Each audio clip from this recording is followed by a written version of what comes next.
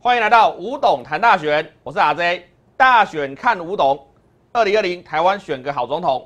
我们今天还是欢迎我们的主讲人吴子嘉董事长。大家好，大家好，董事长，昨天呐、哎，有一个没有太起眼的新闻，可是呢，这个可以串成一个大的故事啊。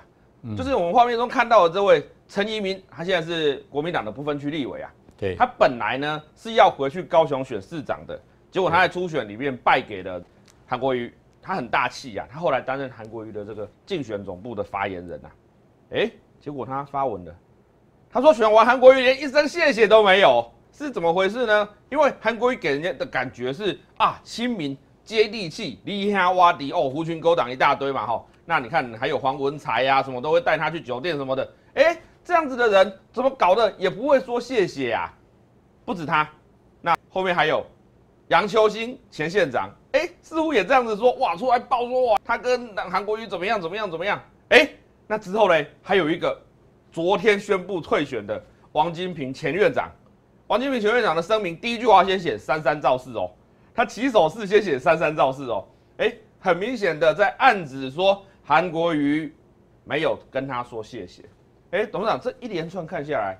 过河拆桥难道是韩国瑜的习惯吗？还有一个更大咖，啊吴敦义，啊，吴敦义也被他辜负了。你不要忘记了哈，就是说政治人物哈，呃，对这个支持者或是帮他忙的人啊哈，嗯，呃，用完即丢是，啊。那韩国也不是台湾第一个嘛，嗯对不对？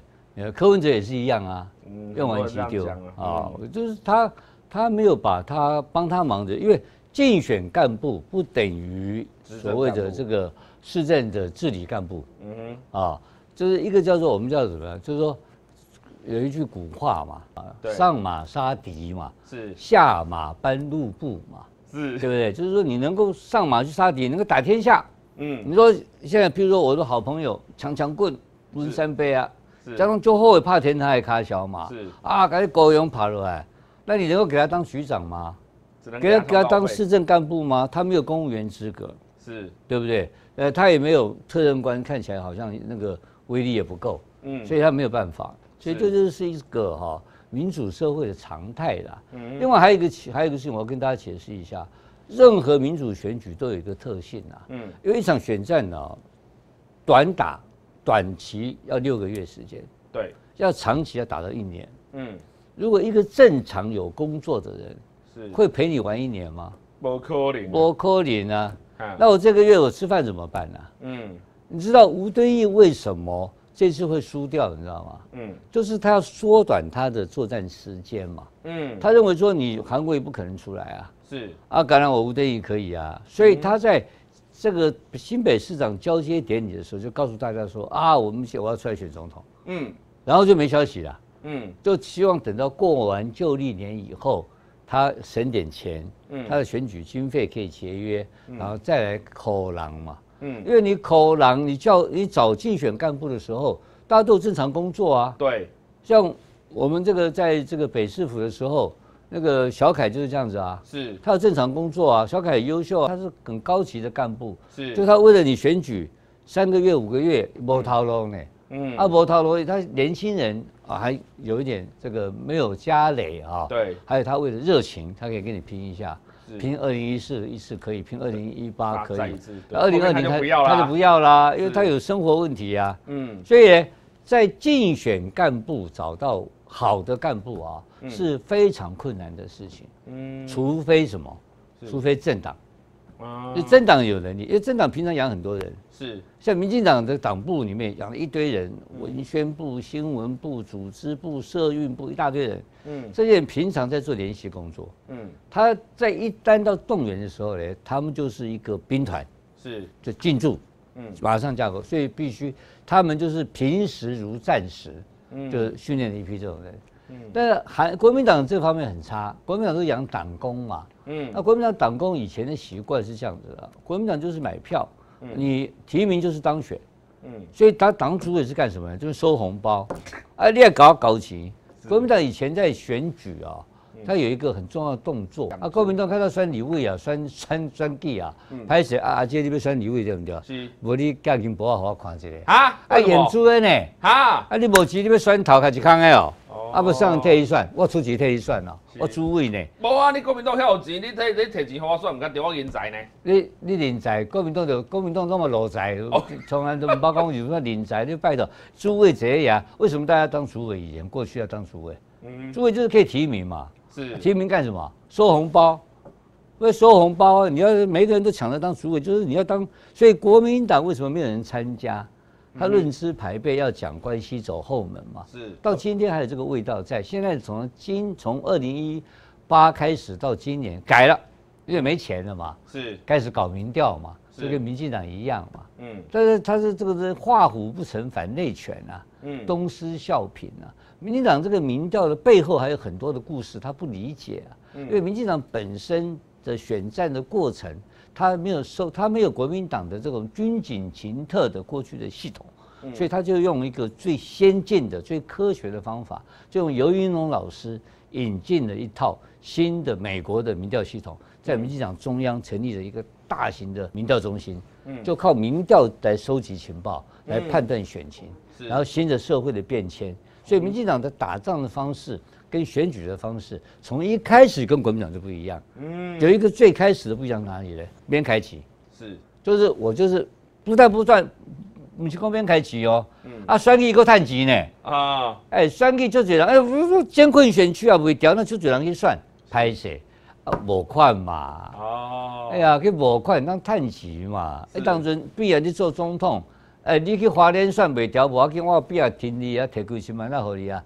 你看到没有？那个陈水扁的女儿出来骂人了，您都直接我提我提给我们老辈骑嘛？对，这些艺术，所以进动更重要。那现在回到台谈韩国语，韩国语你不能怪他，韩国语去扣狼嘛。嗯，他们国民党是乱七八糟，没有组织性的，他们也没有文宣，国民党是不会打仗的政党。嗯，那韩国语到了高雄以后呢，就变成个拼装车，连陈一鸣也进来了哈。那王金平也不是一开始进去的，也是因为到了八二三水灾之后，然后。第一桶金还是科粉嘛？对，因为科粉在网络上让他创造了一个很大的奇迹，就变成韩粉嘛。对，所以第一桶金就是科粉变成韩粉，在网络上攻占了网络的市场嘛。所以二十二十九岁，大家要记得，我现在讲的这句话很重要。在去年九月份的时候的第一批的这个所有的韩国语的这个铁杆部队，是是二十到二十九岁的网军。是，对不对？嗯，那如今安在？跑光光。是，现在旁边剩下谁？剩下傅昆奇嘛？是，剩下这个张，剩下张立善这些地方派系嘛？对。所以他现在支持他的人，跟在去年胜选支持他的那些的种子部队，完全两套啊。嗯。我两种人，你知道吗？是。为什么变成这个样子？因为韩国瑜本身或国民党本身，他们不培养人的。嗯，他们没有系统性的，嗯，民进党有系统性，民进党的派系有系统性，有训练，有培养人才。国民党博啦，国民党每次是要选举才有人。还有一个，国民党是什么东西？国民党是个分赃集团。对，我现在要这样讲，所以韩国瑜在做这个事情的时候，对陈义民做这个事情，我一点都不意外。但是我讲很简单一个概念啊，领袖，我把它分成三类，我要这段很重要。嗯，第一类领袖叫什么呢？第二领袖叫做魅力型领袖，嗯，韩国也就是魅力型领袖，他是 charismatic，他有非常强的魅魅力，就是 charisma，嗯，他是他有这个 charisma，他本身很有魅力，他这个魅力一出来以后哈，群众就跟他走，嗯，你知道吧？就是他有特殊魅力。啊，台湾过去谁有这种魅力的？民进陈水扁，嗯，有这个魅力，魅力型领袖。对。然后第二点是什么东西呢？第二点叫做叫做分配型领袖，嗯。分配领袖，陈水扁也会，他拿提到官威，我开始分你，嗯，所以当官分钱啊，开始我挺立委，替你募款，有没有？有。他帮募款，然后给他钱，然后他去被关，然后然后官员贪污一起来挺派系，这叫分配型领袖，这第二种分配资源。是。那第三种叫理念型领袖，嗯，谁是真正理台湾真正理念型领袖是谁？你知道吧？李登辉。是。他一开始想搞台独。所以，但李登辉是唯一在台湾民主化前期的一个人，具有三种身份身份在他身上，他有路线，他有理念。是李登辉有魅力哦。对，我现在跟你讲起来，哇，这啊，这立立头啊，你讲话吼，哎，那么价都蛮高的呢。是，朗朗上口嘛。啊，第三个分配，对，李登辉超敢分的嘛。是，黑金都是李登辉搞出来的嘛，对不对？好，我们现在把韩国瑜定位是哪一种？魅力型领袖嘛。是，魅力的魅力型领袖眼中有什么？群众。嗯，他除了看到群众以外，他看不到任何人。嗯，他会不会分配？他分配的结果，可是韩国瑜是一个一个政治上的一个奇迹啦。嗯，什么奇迹呢？柯文哲是个素人，突然间冒出来的。对啊，他没有包袱。是柯柯文哲就是魅力型领袖。是，所以他对这个理念的部分不清楚，对分配部分他不会。不执行。不会，因为他不会贪污嘛。对。他不会贪污嘛。可是韩国瑜的家族，包括李嘉芬的家族，他们都是朱亲近地嘎做了。是。所以他们懂分配啊。对。可是韩国瑜有没有有没有理念？没有什么理念。没有理念，草包嘛。是。就没理念嘛。所以韩国瑜有两个条件，一个是分配型，对。一个就是他的魅力型。是。他靠他的强大的魅力获得群众的支持。是。可是分配的时候呢，很抱歉，不跟你分。不是，他分给自己人。李嘉芬嘎做干你崩嘛，是，对不对？那他刚开始的时候，后边又改你，后边又改，所以那陈一鸣这个人本来就要不重要，发言人不是很重要。他搞不认为说啊，我给你当发言人是给你面子哦。哦。陈陈一鸣不要误会了，你以为他会要跟你谢谢？他认为你要跟他谢谢，陈一鸣要跟韩国瑜谢谢，是这个陈一鸣根本把这个位置搞错，表错情了。谈到王金平，这个比较严重，因为王金平当时的陆军陆战部分呢，是他帮他做做初期的第一桶金，嗯，那是王金平，是王金平为什么那么恨他？本来应该他要支持王金平选总统嘛，他答应王金平要跟他选总统了，不是应该支持？你讲这个话不对的。他答应王金平，他没有答应的话。他没有答应到这种程度，没有腐烂到这种程度，王金平会挺他吗？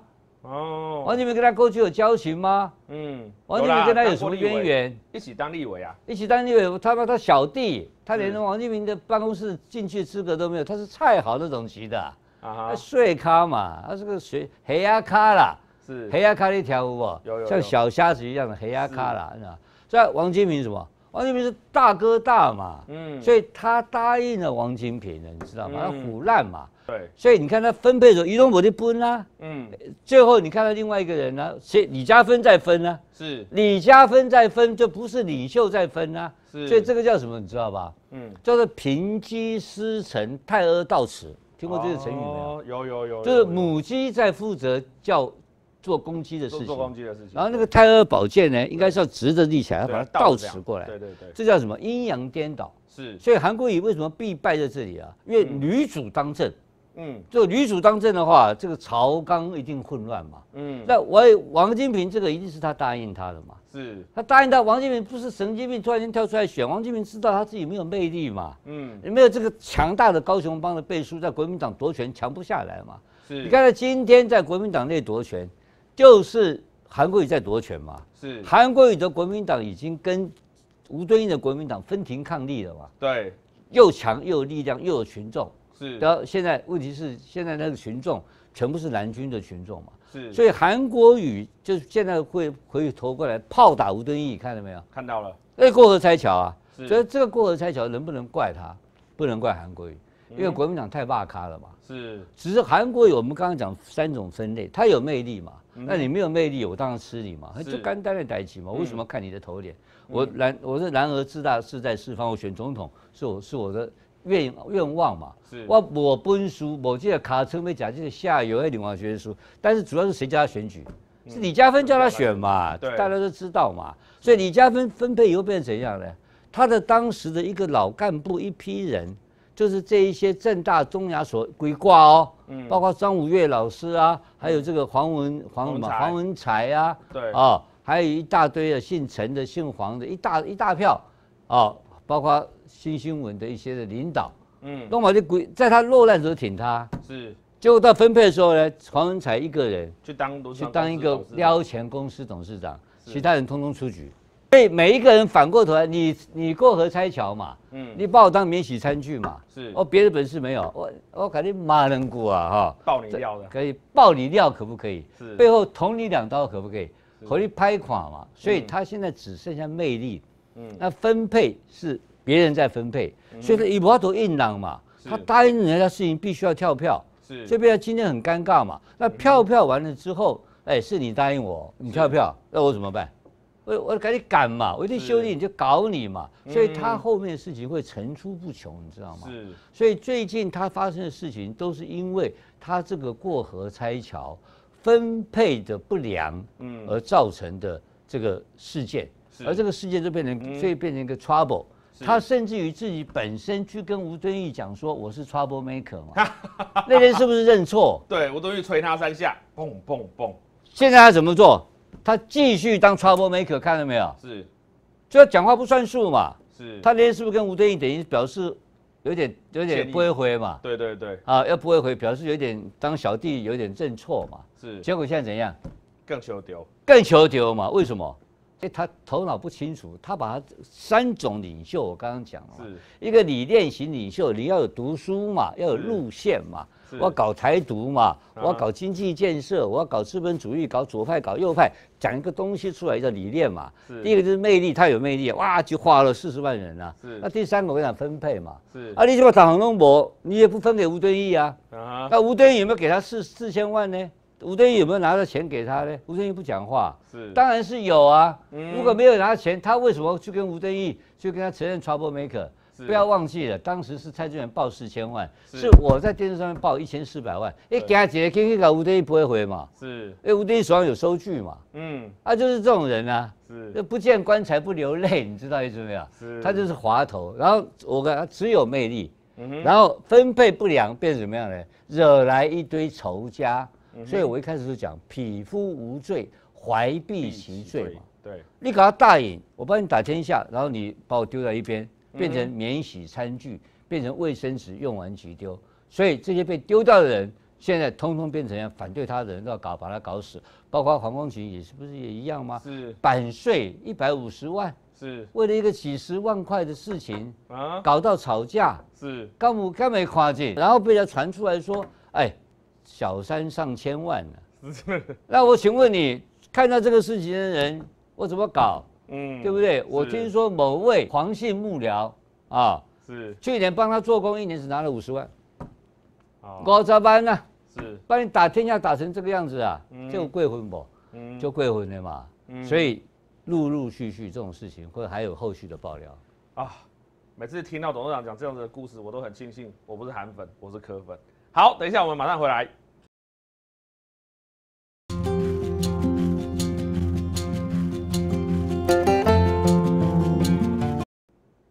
欢迎回到吴董谈大选，我是阿 J 董事长。昨天呐，王金平前院长宣布退选哎，他说啊，他不要参加那种奇奇怪怪的初选。然后呢，他也宣布他不会退党。那意思是什么呢？意思是，哎，我现在可以跟任何人配哦。如果朱立伦要找我配也可以哦，郭台铭要找我配也可以哦，韩国瑜也欢迎来谈哦。看起来似乎是这样子吗？而且所有的人都发表声明。超怕他离开国民党，韩国瑜马上说一定要留在国民党内。郭台铭也认为他是国民党的重要资产。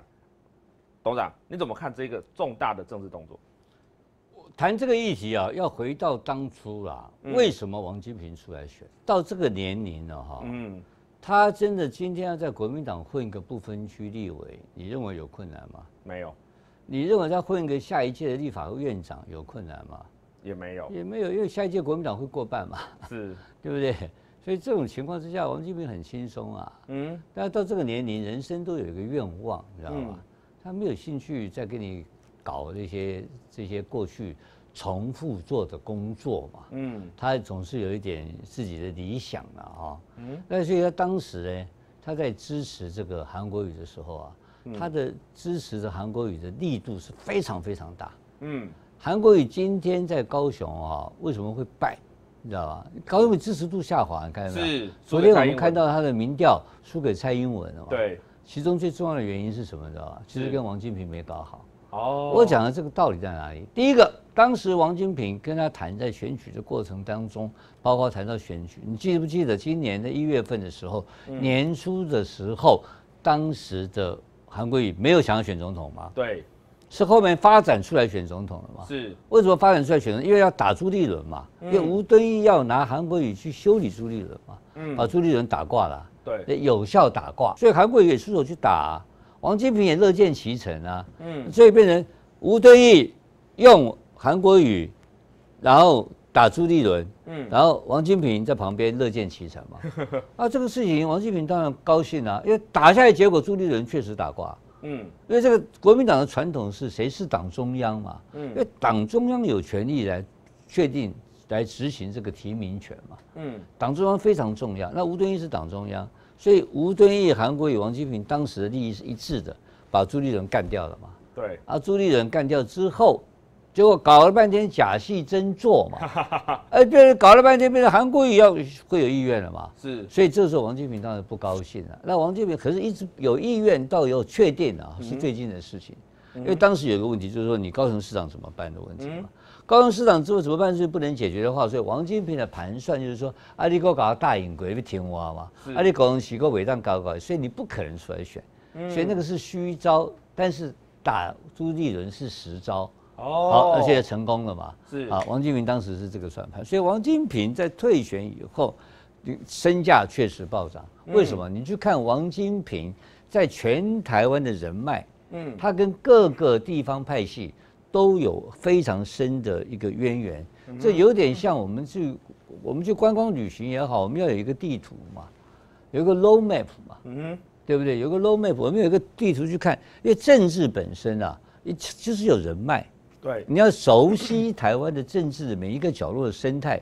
为什么我谈政治的时候谈民进党谈的比别人清楚？因为我接触几十年嘛，嗯，为什么柯批没有办法选总统？他走不出台北市。嗯，就是他对这个政治人物不熟，对。他看来，哎，这个好像很能干，那个很能干。啊，雨欣也不错，是。啊，这个景俊也不错，那么都简直都是菜，但是。真正的那个政治深度的东西他们看不懂，因为他他科批从政时间才四年多嘛，对，他过去没有嘛，对，所以他光是政治生态跟人脉，你狼的把人跟他供，就好像说你在做高科技，你在做电信产业，嗯，电信产业人头你熟啊，是。我们在做创投投资有一个很重要的条件，不是说你这个人多，你这个人多厉害，技术多好，不是你人脉多好。嗯，因为人脉是解决问题的第一要件嘛。是。好，就看到王金平的人脉是第一好嘛。对。他各个党派都熟。你没有这个仕途老马来带路的话，嗯，我可以告诉你好不好？今天韩国瑜只认识两个地方，一个是新北市部分，是一个是云林嘛。对。高雄到现在也不熟啊。嗯。连几个行政区都回答不出来。对啊。不是他把亚党啊，他人不认识怎么选举啊？是韩国瑜给他明天去国民党提名当选总统，各地方党部各地方会成立后援会，哎，嗯，谁帮他当当会长？嗯，谁帮他当主任委员？嗯，那谁帮他去去去去去动员去拉票？对，哎，你要你要到地方上去去拜票，你看看这一次在台北市所谓的四十万人的集结成功，旁边站的是什么人？复婚旗小咖嘛，是。没有重量级嘛，所以一看为什么民调马上跌？因为那些人是负面形象嘛，嗯，所以韩国瑜为了要救民调，去搞了一个造势活动，就把自己搞得越民调越救越差嘛，对，因为他的形象跟当初的形象不搭了，是旁边都是黑心比较多嘛，是好，那王金平，你刚刚讲的，每一个人都他都会合作吗？嗯，错了，错了。他绝对不可能跟韩国瑜合作嘛！啊，他你这一些摸把的万坦，嗯啊啊退出初选嘛，嗯，为什么叫奇奇怪怪？奇奇怪怪是讲谁？讲吴敦义啊？不是奇奇怪怪的初选他不参加？对，什么叫奇奇怪怪？就是现在变成全民调啊？不是啊。奇奇怪怪，最重要的是你要来登记参选嘛？哦，是。什么征召参选的奇奇怪怪嘛？是。哇，好酸你，会不会来酸地的进雄酸地嘛？嗯。那你为了搞了一大堆奇奇怪怪的办法来让这个韩国瑜参加嘛？是。这才是奇奇怪怪。他本来的意思应该说，之前他们的初选办法是百分之七十，那个是办法问题。对对。但最重要是候选人嘛？是。你候选人，国民党最近几个月所有你的办法都是为了去。帮韩国瑜解决问题嘛？对，这才是最大的情最大。你你你你，我跟你讲，你什么积分都没有用，积分玩了一大堆，我同额参选可不可以？哇，那就没有积分问题了。是，所以不是办法的问题，而是人事的问题。是，他这个奇奇怪怪的批评是谁？就是韩国瑜嘛。那韩国瑜骗他嘛？讲白了就这么回事嘛。嗯，那他会不会帮韩国瑜？如果韩国瑜出现的话，嗯，我跟你保证不会。那如果韩国瑜说你来当副总统嘞？他不可能跟韩国瑜合作嘛。嗯，他打死也不可能跟韩国瑜合作的嘛。你看他被骗了一次了，骗第二次吗？他哪哪那么笨？嗯，韩国瑜骗他一次，帮他高雄，他有没有帮到忙？嗯，有有啊，结果他有没有分到东西？什么都没有，什么都没有啊。小韩俊还跑去韩国瑜那边，那个还真的假的还不知道啊，对不对？那他为什么不去介入高雄市政府的人事的铺排呢？嗯，是因为他承诺他选总统嘛。嗯，因为高他是盟军嘛，两个结盟，我做国人起定就可以变总统，我听你嘛，这是公后在一起嘛。所以他这个退选的第一个不合作的对象就是韩国，就是韩国瑜。第二个不合作对象是谁？就是朱立伦嘛，对，因为一开始的时候就有仇嘛，是。朱这个这个很简单嘛，就是吴敦义要利用韩国瑜去打朱立伦嘛，哦，所以他如果要国民党内混，是，他为什么不退党？他在国民党内继续混下去嘛，对，那跟谁合作？敦义嘛，对啊，他一定是跟吴敦义合作嘛，是。他跟吴敦义合作是必然的，不然他这个怎么弄？他很可能他现在不分区第一名嘛，嗯，对，不分区第一名，然后当当立法院长，很顺顺理成章嘛，是，那就就就还是很大伟啊，对不对？对，那那个权力在哪里？权力在在吴敦义啊，嗯，那个不是在这跟那个跟那个跟别人总统搭配无关，而且我讲坦白了嘛，你今天全国各地的庄脚。你韩国瑜哪有办法布得起来呢？嗯，每一个地方党中学军选总部都成立不起来，你不挂人嘛？是好，所以他唯一会合作是谁？是吴敦义。吴敦义完了就是郭台铭嘛？是这个就变变成外面所称的反韩联盟，确实是存在的嘛？所以董事长，你的意思是说，吴敦义到最后真的有可能还是出来选总统？然后吴敦义不会出来选总统，吴敦义会不会不会来选总统？吴这些所谓的。反对韩国语的人，吴敦义是第一号大将，是因为吴敦义，你那个四十万的造势是干什么？嗯，就是警告吴敦义嘛。是我炮打我，我拥兵自重，你吴敦义，我赶你拢，你党中央，你不要给我规规矩矩办初选啊！我要夺权选总统，对不对？对。那跟谁夺权？跟吴敦义夺权。当然跟吴敦义夺权嘛，因为那个那个选举的。候选人的决定权是吴敦义嘛？是。那他现在是跟吴敦义合作的嘛？王金平这个态度，我不退党，就是跟吴敦义走了嘛。所以这个反韩的力道又增加一道。所以这就是前一段谈到的韩国与自己这个过河拆桥，不断的增加自己的对抗能力。他在国民党内不断的把他的友军推到对面去跟他对抗嘛。是。韩国瑜问题都是把自己人推出去，然后变成敌人嘛。韩国瑜非常有效率的。把自己的友军跟盟军转变成他的敌军，是这韩国最大的天才是做做这个事情。是是，而这个吴，呃王金平最后会帮谁？暗中的、公开的、私下的，当然是郭台铭嘛。是这靠的怎样代起嘛？因为没有选项。嗯哼，某酸的，刚才郭台铭起来嘛，所以这一个月里面还有精彩好戏。好，我们等一下马上回来。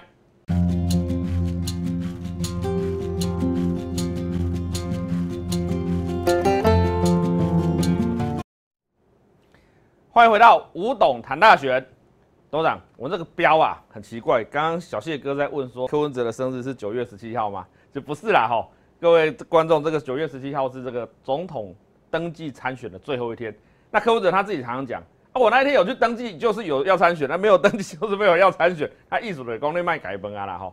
那可是嘞，不不不，不是你哦，你讲大家麦搞问啊，我拜托大家继续搞问，是啊，哎，我解读错误哦，不不不，无阿搞问哦，伊一嘴讲麦搞我问啦，啊其实是讲讲麦搞问啦，啊就一直按，啊心目中一直按球啦，一直搞问，一直搞问，啊你会给你瞄着瞄着，哎，一直跟瞄着瞄着，搞这个玩意儿嘛，他是在炒新闻呐，哎呀，科比就是故意的嘛，哎，可是我跟你说，他在市议会咨询的时候，有一个人咨询他，他都会讲真话，那个人叫高嘉瑜。哦，高嘉瑜问他说：“那你那个台北市长的备案人选找到了没？”他说他没有找到。然后高嘉瑜问他，他说现在台北比较需要我。哎，那感觉好像又没有要要出来选哦。然后后来记者联访都麦的时候问他，他自己说：“人家跟我说吼，蔡小英现在怎么对待清德，以后就会怎么对付我，我好怕。董事长可以给我们一个解析。一个问题啦，就是柯文哲准备好了没有？他永远不会准备好。OK，就是他没有准备好嘛。他不会有准备好的一天嘛。所以那总统这个位置有没有人准备好才去选的嘛？没有嘛。嗯。准备了一辈子的人是谁？很多人准备了一辈子，我光丁守中准备了一辈子选台北市长嘛。对。那准备了许信良准备了一辈子在选总统嘛。嗯哼。从来没有缘嘛。可是许信良讲了一句非常有智慧的话。大位不以自取。对了，所以说准备也没有用嘛，也无从准备起了。你做了就是你的位置了嘛，就那么简单。所以他的上去干了，人自然会帮你忙。就是这个位置的特性就是如此。也不要什么啰里啰啰里吧嗦讲一堆有的没有的，也不要搞什么科粉俱乐部，也不要搞后援会。我那调拢来啊啦，我那无调，无人被插你啦。算了了。而且问题是他会不会选的问题嘛？嗯。他有没有条件选的问题嘛？嗯我认为他是很想选嘛。嗯。非常想要选嘛，因为他看了韩国瑜，他也瞧不起嘛。嗯。他看了蔡小英，他也瞧不起嘛。嗯。因为你要知道，他从小考试都全班第一名，他什么都第一名。他第一名的人看看到那个看到那个放牛班学生是什么心态啊？他他自己常常讲，哎，如果考试的时候是我最心情最好的时候，因为我都考赢人家，人家都追不上我啊。你认为他看得起韩国瑜吗？当然，不过他有说过韩国瑜是。国民党里面最带种的政治人物，是其这个低头靠在这个杀杀猪场杀猪的，他妈比我们都带种。我看了血我就昏倒。那个抬低抬高我用哎，那带种有什么屁用？看做什么事情带种。是韩国瑜，韩国瑜当然带种啊。嗯，韩国瑜因为那个地域新鲜贪念冲脑。就带种了嘛，就马上就选总统，就开始就把所有的人就过就过河拆桥嘛。对，五百万早就准备好了。就是这个，就是带种，那个带种没有用，那个叫做莽夫啊，匹夫之勇嘛。嗯。没有智慧的勇气啊，是要有胆识过人，要有奔俗。当总统这个要有本事，选总统要有本事啊。是。你要柯文哲现在有没有选总统的准备？现在不要谈他有没有准备做总统，他选总统准备了没有？没有准备。没有准备。没有准备啊。但是他认为他迷信嘛，他认为天意嘛，嗯，天降大人与诗人也必须苦其那不劳苦其心志，苦其心志，劳其筋骨，饿其体肤，空乏其身，行拂乱其所为，所以动心忍性，增益其所不能。所以增益其所不能，他就会自己来了嘛。是，他认为是天意嘛，嗯，所以他认为老天爷会帮他忙，会让他干总统，就这么简单。嗯，然后那怎么办？啊，问题蔡英文出来了，赖赖清德分裂。然后这个韩国瑜草包出来了，中间选民当然有个空间在嘛，嗯，这个空间怎么办的问题嘛，是，我觉得看到目前情况，柯文哲来选总统，嗯，再加上有郭台铭的头脑跟领导力跟智慧的话，哎，这是很好的组合哎，柯文哲跟柯跟郭台铭合作。这个对台湾最好的总统啊！他们问题是两个人没有人要当副总统，这两个条件放在一起，因为郭台铭的本事是最大的。嗯，这一组人去走廊来，对，你不用怀疑嘛。嗯，他创立那么大的一个企业，你跟他本人谈过一次一句话就知道，哦，这口我不输，他真的本领很大。嗯，他本事大到程度啊，是目前蔡英文、赖清德这鬼挂郎没有一个人比得过他。是，但是口才不好，另外一回事，本事是最大。毛泽东口才也不见得很好啊。嗯，毛泽东口才比他的文章写得很好，演讲也是马马马得是一般般呢。是，对不对？毛泽东也不是很会演讲的人啊。对，对不对？蒋经国口才也不好啊。对。对不对？没有人说口才好，要当总统一定要口才好啊！当然，那胆追病就好抓了，对不对？多厉害，啊！现在目前台面上口才第一名是谁？韩国瑜嘛，嗯，对不对？翁罗尔嘛，是。所以说我刚刚讲的，柯文哲口才很好，柯文哲讲他的事情讲得很清楚，他他也是口才很好的人，会讲故事。所以这是两个魅力型领袖，一个叫做韩国瑜嘛，一个叫做柯文哲。是。但是柯文哲现在的魅力呢，输给了韩国瑜。嗯。你发现没有？是没错。看电视台专访柯文哲，没有收视率。对，完全没有收视率。对，韩国瑜一次可以搞四十万人出来，柯文哲搞不出来。是，你知道为什么吗？嗯，因为韩国瑜啊，胆大包天。嗯，你知道吧？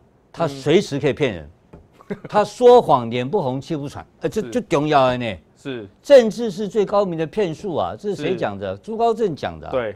韩国也是个超级的台湾第一号影帝啊，嗯，台湾第一号大骗子啊，嗯，这个影帝跟骗子集于一身的时候，酸中痛起嘟多后年，你不要搞错了，嗯，所以柯文哲现在有一点黯然失色，你知道吧？对，胆子小，他不敢骗嘛，他大学教授，你知道吗？对，他讲话还是要有所本嘛，嗯，他讲话理论要有论述嘛，对，虽然他讲的这些半生熟了，嗯，他讲什么？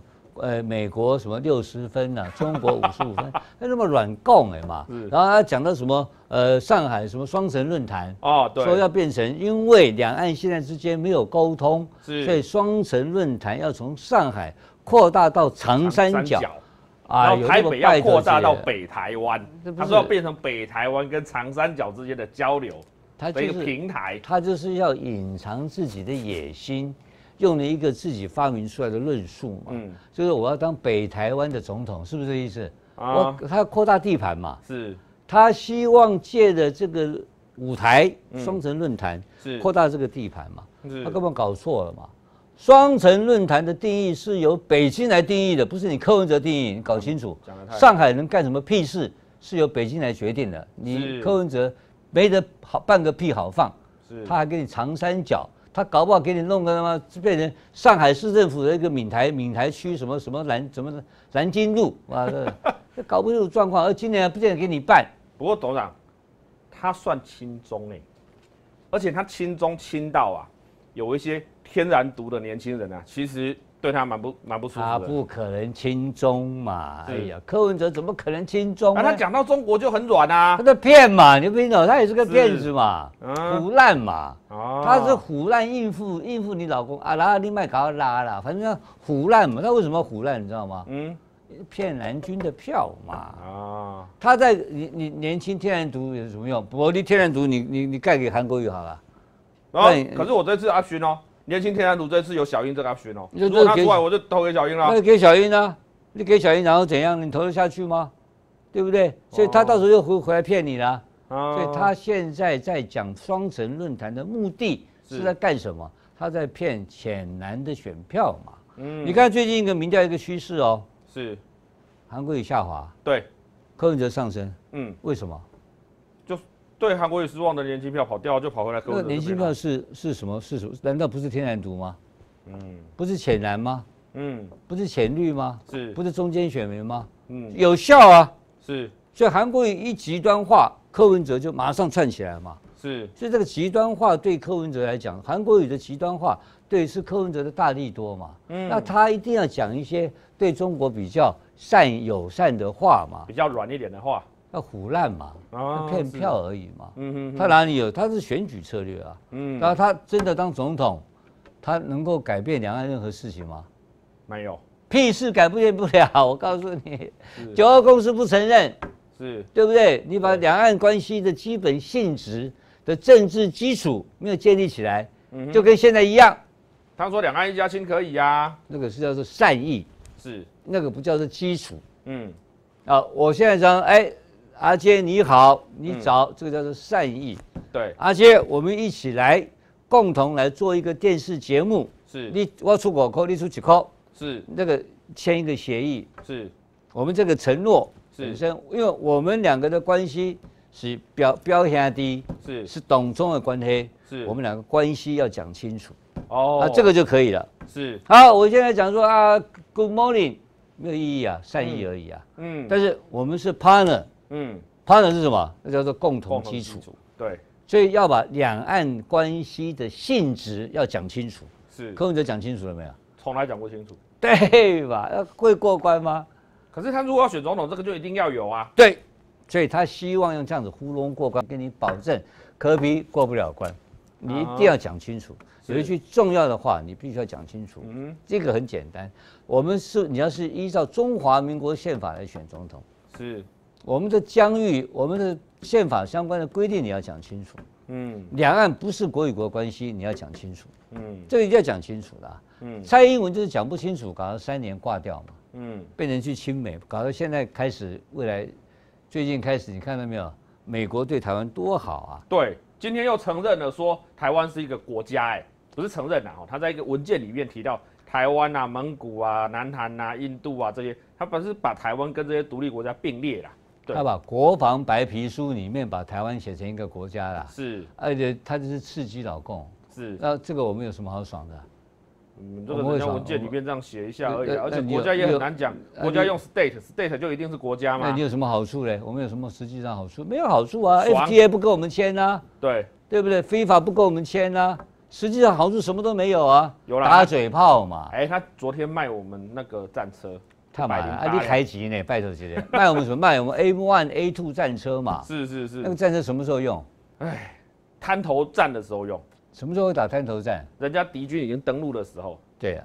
我们买了一个，到最后要在我们的金山外海，对，在我们的台湾的海的海滩上面，本来是游泳的海滩，现在要跟他用战车跟他在妈的，大家互相压来压去，对，那个战能打吗？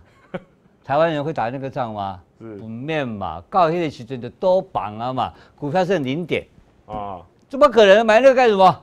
是，以前国民党买那个是干什么？你知道吧？四十年前。打金门的战争啊？不是，国民党四十年前买美军的战车是要来打压民主运动啊！哦，真的。妈的，美丽岛事件后面是战车要准备出来的。你以为只有只有天安门，只有老共拿战车去压学生啊？四十年前的国民党的战车准备压台湾人学生。哇，难怪搞错了。国民党跟共产党原来是兄弟，本来就是一模一样的，他们干的事情从来没有两样的啊，哪里有改变过？那我现在跟你讲，这现在买战车干嘛嘛？打滩滩头战啊！滩头战你要不要打嘛？不要啊！对，他要登陆，你要打他，是要反登陆作战用的啊！是，那个怎么的再来就打巷战了嘛？是，就著名地战争。有没有？我们台湾以前有一个叫总统叫唐永松，知不知道？知道。他是干什么的？哎，台湾民主国的总统。然后他跟谁干？日本日本人干。对。干到最后在在哪里？他跑掉了。对吧？你要不要打嘛？是。台湾人要打，先决定。我要给我们跑了攻后来盖一湾。盖。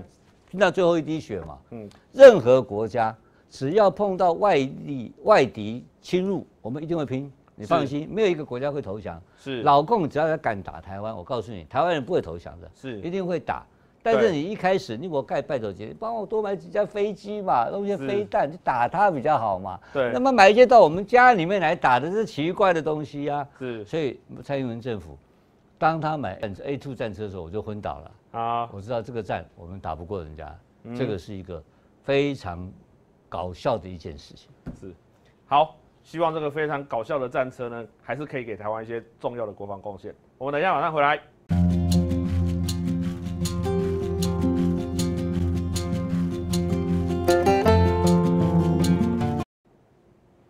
欢迎回到吴董谈大学，董事长，昨天啊，国民党的五人小组啊，跟郭台铭董事长见面了。哦，那郭台铭董事长呢，跟他们有一个充分的沟通之后呢，他提出了八点诉求哦。哦，那这八点诉求肉肉等然后我们简单的把他的大要讲一下哈。他的这八点诉求主要有提到第一件事情，纳入手机民调，跟民进党一样啊。那第二个诉求呢，是提到不要互比试，不要影响党内和谐，大家通通去比对比试。好，他说百分之百的对比视频的民调。那第三点呢，哎，很奇特哦，就是备位人选。那这个备位人选这件事情，也就是说我要备案人选哈，应该这样说，就是说，哎，当这个主要的候选人呢出什么状况的时候呢，下面还有第二个候选人可以马上补上去啊，哈，哇，这个提议哦，前所未闻啊，前所未见，郭董真的是非常的有创意了哈。可是有国民党的中常委就说，哎，这是暗杀条款啊，什么意思？那把主要的候选人暗杀掉之后，这备位的候选人就可以上去了。这个董事长你怎么看郭台铭董事长的诉求？所以他这个备位人选，这个是一个很有创意的事情啊，不知道是哪一个幕僚帮他出的点子了哈。好像国民党的五人小组说下礼拜二他们回拿回去内部讨论嘛，对不对？那我个人看法，这个备位人选这个事情，这个案子不会通过的啊，因为不会通过理由很简单嘛，你现在选的就是他担心韩国瑜如果出现以后，因为韩国瑜现在这个情况看起来哈，出现代表国民党的机会非常非常大。嗯，但是落选的机会了，非常非常大，因为韩国已经变成深蓝化嘛。对，韩国已变成深蓝化，现在两个主要候选人，一个韩国一个郭台铭嘛。嗯，你看他的民调嘛，郭台铭的民调里面有大量的是属于有浅绿的跟中间选民嘛，是。跟白色嘛，就是有白色跟浅绿的就支持郭台铭嘛。嗯哼，跟刚刚要退选的王金平的情况一样嘛。是，王金平主要的支持者在深南部分很少嘛。是，本土主要都是浅绿跟本本土很少很少。所以王金平如果离开以后，会那个部分的那些支持度会转到郭台铭身上嘛。嗯，啊，所以这个就是他们有共同点的地方了，也提到。但是因此就回到说。今天就是为什么他一定会落选，就是他太懒了，他越来越走深蓝路线，是。为了中华民国粉身碎骨，他去了中年办，是。啊，然后他一直在这边喊着空洞，我刚刚讲魅力领魅力型领袖，可是他没有没有内容，所以他说他是一种特殊魅力啦，叫草包魅力，你知道吗？是，那种草包魅力在台湾这种有有一点这种成熟的民主社会里面哈，他到后面会变成深蓝化，更极端化。极端化的情况之下，变成大统派嘛，所以他要当选的机会微乎其微啊，应该落选机会很大。所以郭台铭提出这个想法，就哎，如果情况不对的话，把他拉下来换我来选，是进政治不可能这样搞，这样子搞的情况之下，就是一从一开始就埋下了斗争的杀机了。那这个表示大家就不会复选了嘛？对，啊，所以这个情况之下，郭台铭的这个主意，我相信不会被接受。但它主要有意义是什么东西呢？它主要是对比式民调。嗯。对比是民家，这个是对的哦。就是我们党内，因为因为在民进党的规定啊，当有党出现明确候选人的时候，我们就采用对比，不用互比。嗯，因为互比没有意义的嘛，因为酸眼嘛。对，你是你不是在党内杀嘛，是要跟跟进跟国民党杀嘛。对，所以他要建议百分之一百对比啊，这个是对的。然后这个很容易成功啊，因为为什么成功？只要主要候选人同意啊，就可以同意啊。啊，虽然党中央有定的规则，但他这个也不会成功。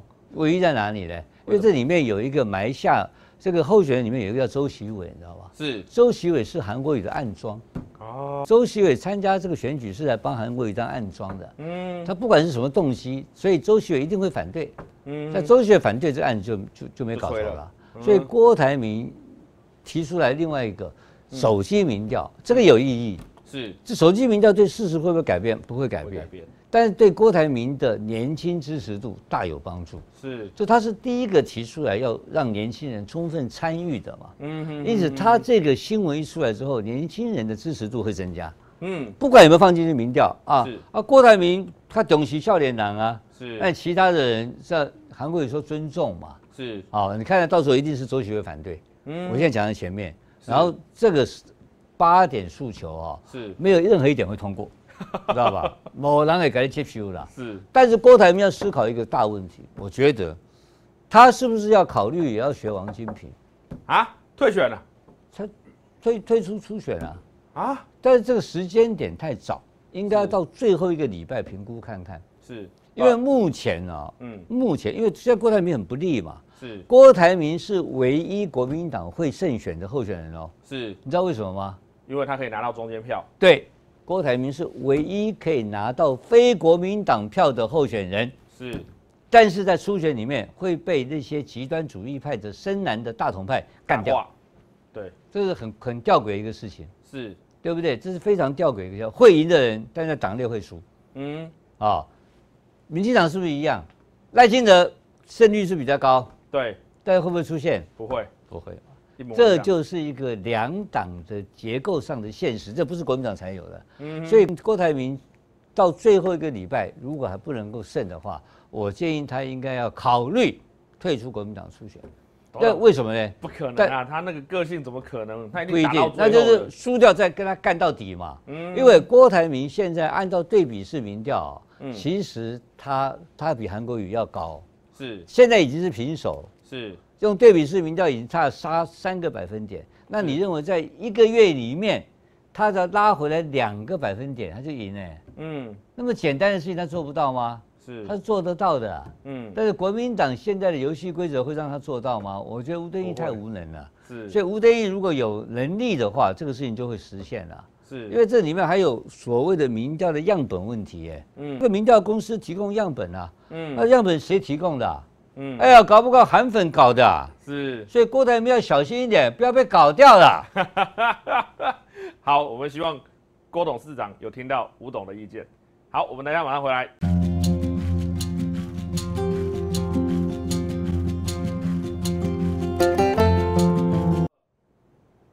欢迎回到吴董谈大选，我们来到吴董侯立文这个单元，吴董宰立文了哈。我们现在马上就来看，我们今天在网络各地搜寻到的想要问吴董的问题。第一题，董事长，这位是这个打脸名嘴粉丝专业的赖明俊先生哦，他在问能源政策哦。他说，能源政策在这场总统大选扮演的角色是什么？台湾的电力真的够用吗？答案是台湾电力不够用，挂了，这是第一个结论了哈。然后蔡英文的执政三年来的能源政策彻底失败，也挂了。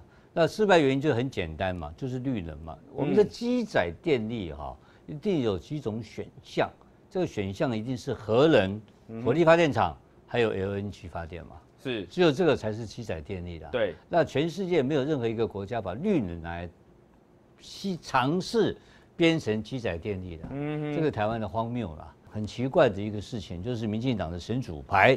就是要废核能嘛，是要搞成今天这样子。那能源政策，能源政策在总统大选里面扮演角色是什么？哈，嗯，其实这里面谈到是另外一个政策，就是经济发展政策。哇，我们的经济发展政策已经到瓶颈了。讲的太好了，经济发展政策现在完全没有政策，那只有郭台铭一个人提到要用中美贸易科技战争形成的产业战争，等于说第全世界进入的第四次的产业革命。全球化的产业革命里面，是要做一个供应链重组。在供应链重组的情况之下，台湾变成一个重要的供应基地。那供应基地到底发展是什么样方式？是属于生产性之供应基地，还是属于半导体呢？还是属于软体呢？这个它是整个大战略。这个大战略要以美国为核心领头羊，要把日本、跟台湾、跟中国大陆这个再重复一遍。美国、日本、台湾、中国大陆四方面串联成一个新的一个产业供应链。嗯，那这个新的产业供应链里面，当然我们有新的能能源需求嘛。是。今天你有没有看到一个新闻很重要的？就台积电对中国大陆的投资停摆。是。停止了嘛？是。南京厂停止了嘛？是。停止了，那个产能要去哪里？去美国。去美国嘛？对。那将来台湾会不会持续投资？一定有机会嘛？是。那好，我们要不要讲？我们只要干一个台积电这种厂，嗯，我们的人员消耗有多大？哦，很大，非常恐怖的人员消耗。我先告诉你，它高耗能又高耗水。对对，这是美国不做不做晶圆厂的原因。是，嗯，所以说我们不是晶圆厂哦，是我们可能还要再发展出来跟三星对抗嘛，因为三星也全面撤出中国了嘛。对，它已经把它在。中国的最后一个手机厂就是在惠州关掉了嘛，关掉了嘛，对不对？对。所以现在是不是一个以美国为主的一个全球的供应链开始要重组了嘛？是。重组我们的敌人是谁嘛？嗯。我们要跟韩国干嘛？是。我们要跟韩国拼嘛？嗯。那我们是要把日本、美国、日本、台湾，包括中国的一些的资源，如果下一次选出来总统。是一个能够让中国跟美国都能接受总统的话，这个产业链的重组，我刚才讲到美国、日本、台湾跟中国四个国家形成一个产业链重组，在台湾就会得到非常大的利益。但这个利益得到的时候，我可以跟明确的告诉大家，其中有一块叫做半导体的发展策略，对不对？对。那半导体发展策略情况之下，台湾能源够不够？一定不够，挂掉。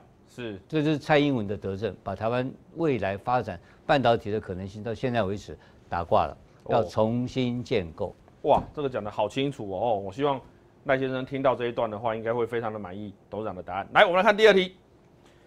来，这位呢是来自 PTT 正黑板的版友吼，Negatron，他的问题想要请问吼，董事长对于高雄现在正在酝酿罢免韩国瑜，而且昨天的民调说有六成的高雄选民想要罢免他。董事长对这个有什么看法？六成高雄选民想罢免他的这个主持的记者会，哈，是是由民进党高雄市议会党团主持的，康玉成嘛，对不对？我看到了，康玉成啊，这个前议长，这个前议长啊，是，所以这个高雄这个记者会的公信力啊，我持保留态度。嗯哼，啊，我觉得六成的高雄选民啊。不赞成他选总统是有可能的。嗯，如果六成的选民要罢免他的话，那他根本就总统不要选了嘛。是，所以我认为这个第一个，韩国瑜在高雄会变成争议性人物。嗯，他不得人望，这个都对的。但支持度形成所谓的五五坡的对决，这个可能性在的。但是我对高雄人有六成要罢免他这个事情，我非常保留，因为他还有那么强的人人气啊。是，你看到一个人很简单，我们看到了黄国昌老师啊，是，他被罢免的结果啊，嗯，很清楚啊。对，他被罢免的结果的结果，民调一出来的话，他也是挂。是，这两个是互动的嘛？没错没错。他的罢被罢免，跟民调、跟民意支持度、跟民调的数据，三个事情是连在一起的，连在一起的，它是有互动、互通性的嘛？是。那目前看起来，韩国瑜在高雄的民调没有到这种被罢免的程度了。哦，罢免实在是很惨的一件事情了，而且是一个不合理的事情了。嗯，哼。他做这么烂，为什么罢免他不合理？那不。罢免这个法律本身，我是持保留的啦。是，因为我们为什么四年选一次嘛？嗯，四年选一次就让他做到完嘛。嗯，这是刚性任期啊。你用新的民意，而且你是一个否定民意啊。是，因为否定的民意并不是一个赞成民意啊。是，那你罢免的时候有没有选举？没有嘛？没有。哎，干脆改选不就结了吗？嗯，对不对？所以罢免这个法律跟我们的选举的精神上，基本上我认为是有冲突的嘛。是，这个是一个全全全世界好像很少有这种。罢免市长的这种国家了哈，我我详细不记得，这要问一下学者，我不是这方面的学者专家，但是我记得好像有罢免这个政治的规定的国法律的国家并不是很多啊，因为这个在在这个政治科学上来讲的话，不是很科学的一件事情啊。我觉得我们这个呃 B T T 这个版友哈，基本上会对韩国语有一定的这个叫做。呃，bias 就是大概有有一些偏见呐，是。会有一些定见呐，是。那这个定见跟事实，我觉得会有落差。嗯，韩国语有些有可可受公平之处，是韩国语有很多问题，对，但是有关罢免这件事情呢，我觉得高雄人要酝酿这个的意义啊，不是很大啦。嗯，啊，倒不如说去鞭策今天高雄市议会的议员，好好的执行他的代议权。嗯，他的在议会，你看到全台湾现在最因为韩国语的关系，高雄市议会的质询变成大家众所瞩目，众所瞩目。对他的报道洛阳纸贵。是那高雄议会的民意代表，包括国民两党，现在讲民进党在野党，你认为他表现的好吗？嗯，没有印象嘛？对，很烂嘛？对，对不对？韩国也做那么烂，你高雄民进党的党团做的更烂。只会做新闻，屁事干不了，所以要去要求高雄市的民进党的议会党团好好给我加油，他太烂了。是，好，我们来看下一题。董事长总是有非常新鲜的看法。